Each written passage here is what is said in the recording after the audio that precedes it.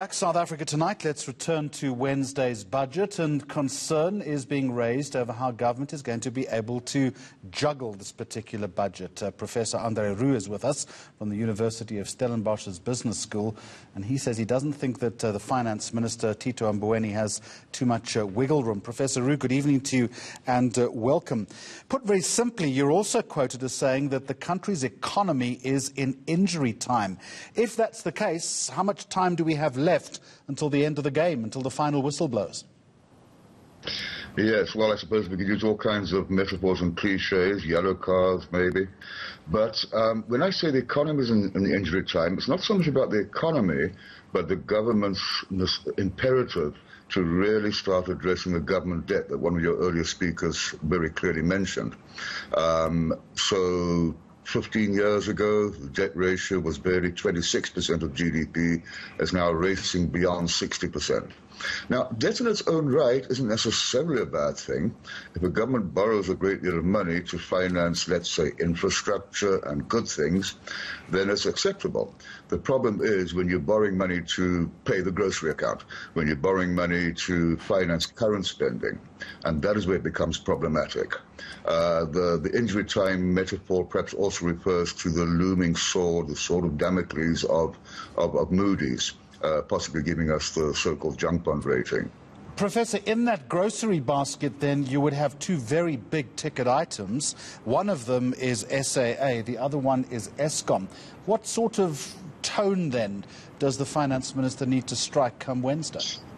Well, I think he needs to give us very clear, uh, probably difficult, probably unpalatable plans as to how they're going to go about. Uh, turning turning the tap off. Uh, and I must add that the 60% number of GDP that is quoted for our government debt actually excludes uh, the debt owed by the state-owned enterprises, for which government kind of stands stands as a, as a guarantor. That's actually excluded. So that exacerbates the problem, if anything else. Uh, any any solution for any of those state-owned enterprises will be of necessity politically impalatable. We might expect some movement on individual tax, possibly even corporate tax, but what I'm also hearing tonight is a possible move on value-added tax again, and this would be, to use your word, very unpalatable. I'm afraid so. But it's one of those things, you know, uh, you're damned if you do and you're damned if you don't. Uh, we really can't afford uh, the debt to rise at any more than one or two percentage points. The tax revenue, in terms of organic increase, is virtually non-existent. I mean, the uh, the amount of tax we can collect is clearly a function of the degree to which the economy is growing, and is hardly growing at all. So, if you're not going to uh, borrow more money, or not too much, if your government spending expectations are still there, I mean, we're going to have to spend more money on certain key areas, then the only thing left that can give way is some increase in taxes. Not, not, uh, and I mean the tax rates. Now, again, politically, it would be difficult to imagine raising the taxes of poorer members of society. Uh, we'll obviously see the normal sin taxes going up, petrol, etc., and you'll get the normal polite tit of applause rippling through Parliament that we expect, but there won't be enough. So you're left with, well, corporate tax, but there, as it is, our corporates are fairly highly taxed.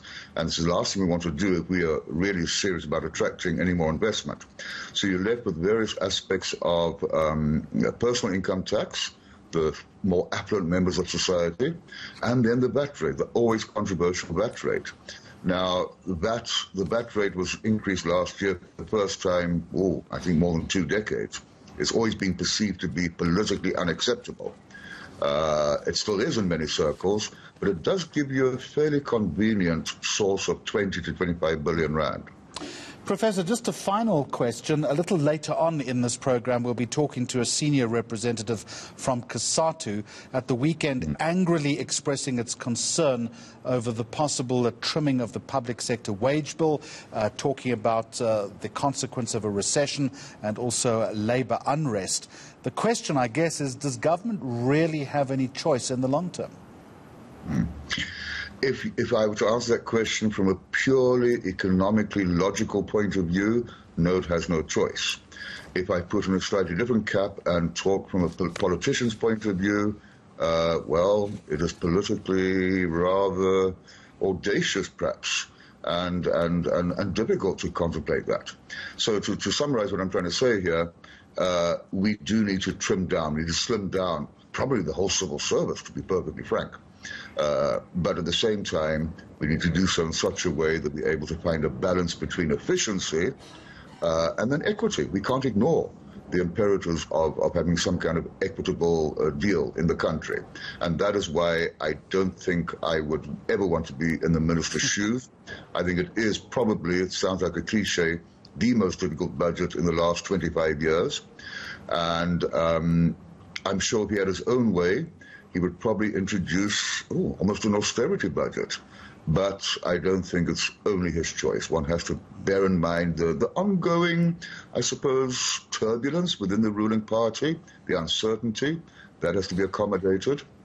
And perhaps as a final point, uh, I'm looking. I'm very curious to find out what is meant by the sovereign wealth fund and a state-owned bank. Uh, I don't think the time is right for that. Professor Andre from the University of Stellenbosch's Business School. Thank